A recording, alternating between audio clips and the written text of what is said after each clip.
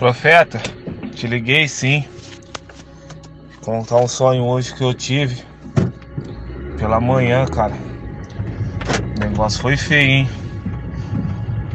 Tati falava que eu dava até pulo na cama. Gemia. E eu sentia, cara. O bagulho parece que é real, irmão. Então, profeta. Cheguei de manhã normal hoje, né? Dormi pela manhã. E aí eu comecei a sonhar, cara. O mundo tava acabando, sabe? Escuro, um frio, uma tenebrosidade, cara, imensa, sabe? E no meu sonho, cara, é... o negócio parecia real, sabe? Ninguém podia sair de dentro das suas casas, né? Por um determinado é, período, né? Que eu não não sei assim te explicar, só sei que todo mundo tinha que ficar dentro de casa, cara. E, e os demônios, sabe, tudo solto na rua, cara, na escuridão. E, e, aí teve uma parte do sonho que eu tava dentro do meu quarto assim, e o negócio parecia real, careca. Demônio assim grande, sabe? Eu olhei para trás, careca, só via anjo, velho. Só anjo. Que, que coisa mais linda, tipo, é, é, anjos prontos para guerrear, batalhar conosco. E aonde a gente tinha que fazer, cara, é uma escolha, né? E é duro que no meio do, de nós, né, e no meio dos anjos, na nossa frente, tava os demônios. E aí os demônios começou a entrar no nosso meio, careca, e começou a conversar, né? iludir as pessoas e muitos eles conseguiu fazer sair do nosso lado e ir pro lado deles, careca. Quando eu olhei de novo, o que, que no caso eu tinha visto primeiro, que tinha um monte de pessoa, careca. Quando eu olhei, cara, era poucos que ficou. Muitos, careca, trocava de lado.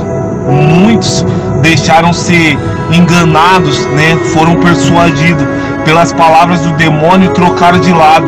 Quando eu olhei, tinha poucos para batalhar, cara. Tinha poucos para guerrear, sabe? E, e, aí chegou o um momento assim do sonho que os anjos falaram assim: agora não tem jeito, gente. Agora a gente vai ter que guerrear. Irmão, falei, falei, falei, pensei comigo, fio lascou, porque nós estamos um pequeno número, careca. Eu pensava comigo no sonho. Eles, aí os anjos falavam, a gente vai por cima, no caso, batalhando com os demônios, e vocês vai por baixo, careca. Nós pegamos uma, uma espada, careca. Mas você precisa de ver, espada é a coisa mais linda, sabe? Espada, uma espada grande, cara. Ah, irmão olhávamos uns para os outros assim e falava assim, tipo assim, eu não conseguia ver as pessoas que estavam ao meu redor. Eu sabia que eu estava, assim, entendeu? E ele falou assim, gente, vamos pra cima, velho. A hora é agora. Ah, irmão. Aí, filho, só espada aqui, ó. No longo, velho. Dos demônios, corta daqui, corta de lá e tal. No final, careca, muita gente ferida, sabe? E no caso a gente conseguiu né, vencer a batalha. Careca, vou ser sincero com você, cara.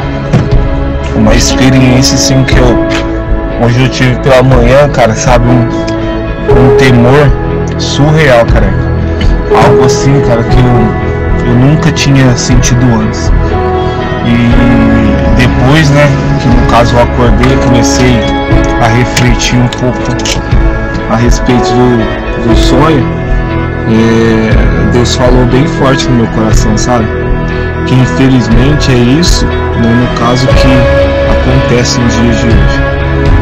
No momento que a gente entra em guerra, né, através da oração, a gente consegue colocar, né, trazer é, bastante pessoas né,